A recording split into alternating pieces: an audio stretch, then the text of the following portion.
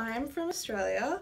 Um, I got into wig making because I was into makeup first, and when I was doing some work in the makeup industry, I sort of got involved a little bit with wigs and hair and styling, and I got really interested in that. So I was like, yeah, I'm gonna come over here and learn a bit more about it.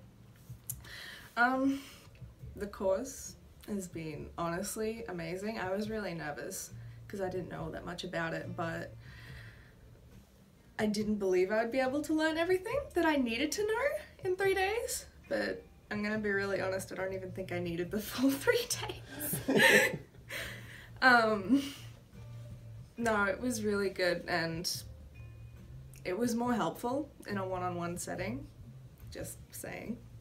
Um, it was kind of more focused and honestly I think I benefited a lot from the personal attention because then every single one of the mistakes I was making was immediately corrected. I wasn't allowed to learn any bad habits. Um, and it was just really enjoyable.